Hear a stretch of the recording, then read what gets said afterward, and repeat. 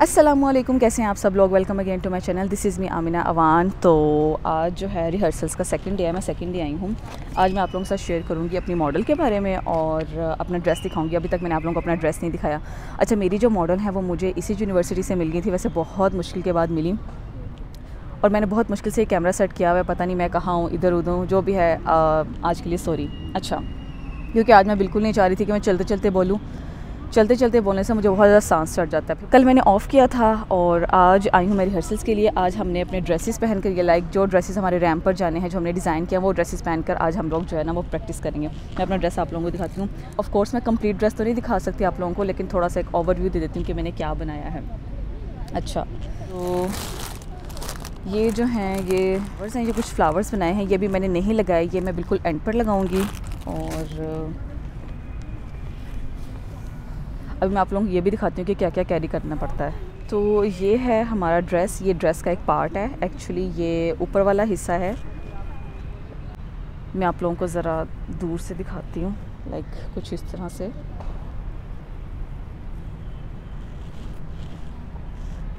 और अभी जब आज मेरी मॉडल इसको पहनेगी तो मैं कोशिश करूँगी कि थोड़ा सा एक कैप्चर थोड़ा सा कुछ कैप्चर कर लूँ। ये है मेरे ड्रेस का इनर ये सिंपली अम्ब्रेला फ्रॉक है। और जो प्रॉप्स वगैरह और जो साथ में हम लोगों ने एसेसरीज़ कैरी करनी है हमारी मॉडल ने, वो ये सब चीज़ें जो अभी मैं सेट करती हूँ बैठ के, ये भी साथ कैरी करके लाई हूँ मैं। और ये मेरा पाउच है जिसमें मेरी कुछ ज़रूरत की चीज़ें जो हमेशा मैं कैरी करती हूँ। ये मेरे माइक का पाउच है और ये मेरे सन ग्लासेस हैं। और यह है हमारा स्पीकर इसकी ज़रूरत पड़ सकती है। लाइक प्रैक्टिस करते हुए हम लोग जो हैं इसको यूज़ करेंगे। इसका भी अच्छा खासा वज़न है। और ये बैग कुछ ये बैग मुझे कैरी करना पड़ा। अच्छा अब हम लोग ज़रा इसको सेट कर लेते हैं। इसको बना लेते हैं जब तक हमारी मॉडल नहीं आती। तो मैं थोड़ा सा यहाँ आ गई हूँ। वहाँ धूप बहुत ज़्यादा थी बैक पे तो सही से रिकॉर्ड नहीं हो रहा था। इसको मैं अब ज़रा रेडी कर लेती हूँ उसके आने से पहले पहले वन थर्टी का टाइम दिया हुआ है मैंने उसको। और अभी आई थिंक ट्वेल्व थर्टी हो रहे हैं। पहले इसको खोल लेते हैं।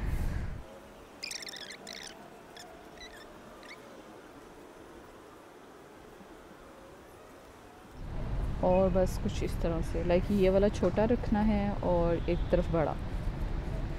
तो ये जो है रेडी है। मज़ीद इसको फ़ाइन कर लेंगे जब फाइनल डे होगा। अभी ऐसे रफ़ ही ठीक है।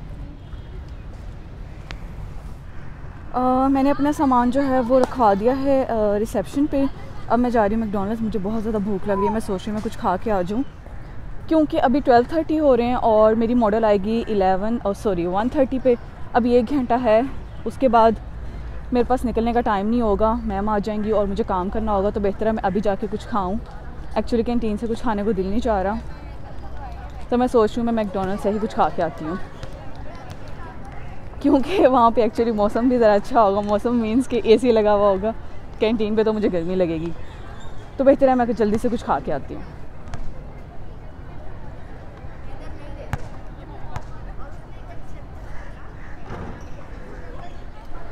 आजकल बहुत गहमा गहमी होती है यूनिवर्सिटी में।